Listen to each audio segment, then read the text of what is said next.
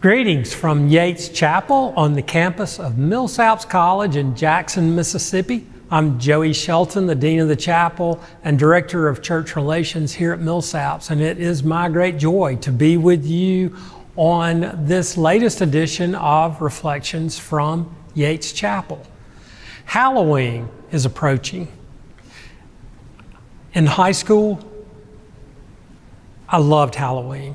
That was the time when we really got to have some fun with our classmates, especially doing the, the scary stories and taking trips out to Burnt Bridge where the headless woman hung out. Crazy times. I never really concerned myself with the origins or the meaning of Halloween or any of the religious uh, holidays that accompanied it. But now, as I get a little older, it means something to me. See, 2,000 years ago, the Celtic New Year was celebrated on November 1st. It was known as Samhain.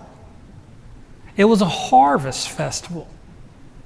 By 43 AD, the Roman conquest of the, of the Celts led to the incorporation of two Roman festivals with Samhain. By 1000 AD, the Christian celebration of All Saints and All Souls Day was added to the mix. Now, all of this took place in what we would know as Ireland and the United Kingdom northern France, and eventually all of these influences came to the U.S. And here, a melding of Native American and various European influences were blended to what I would call stone soup.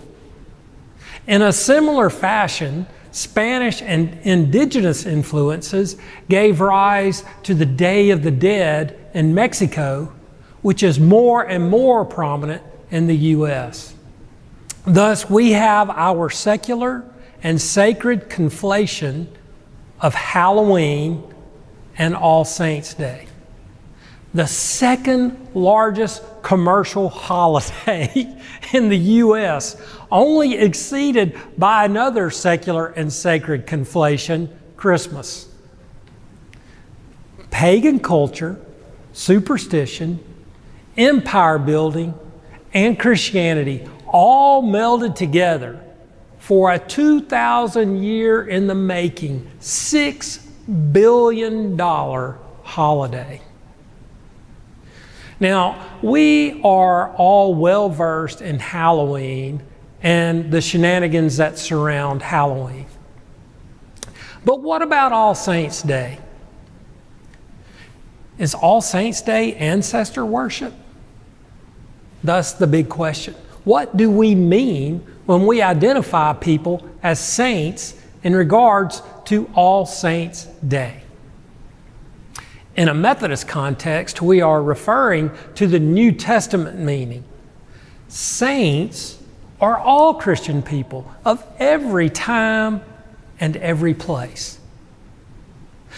All Saints is a special occasion for us to corporately celebrate life and death as we remember folks who have died, as we remember people of the church universal, as we remember people in our local context.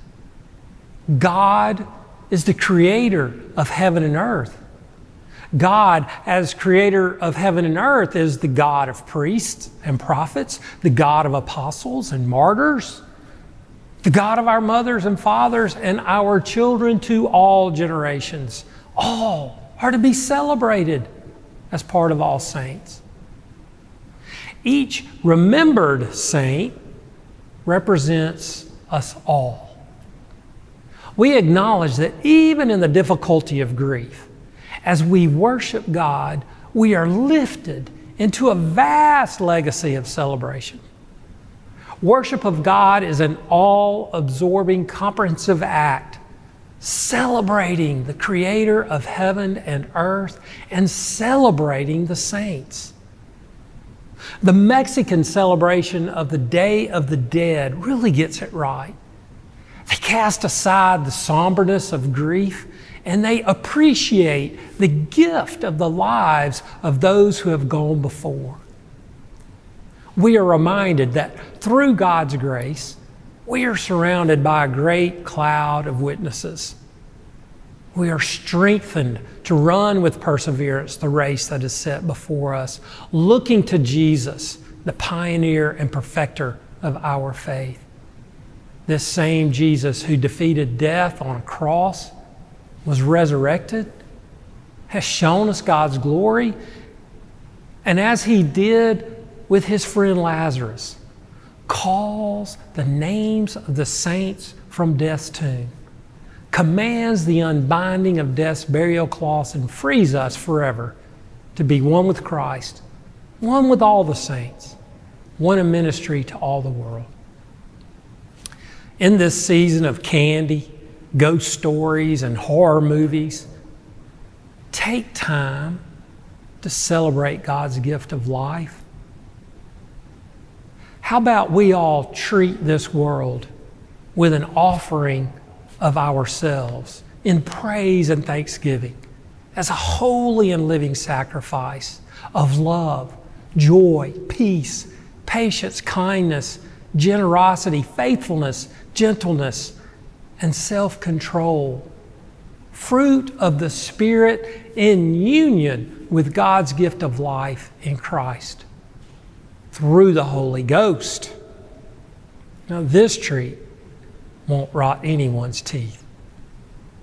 In the name of the Father, Son, and the Holy Spirit, all of God's people said, Amen.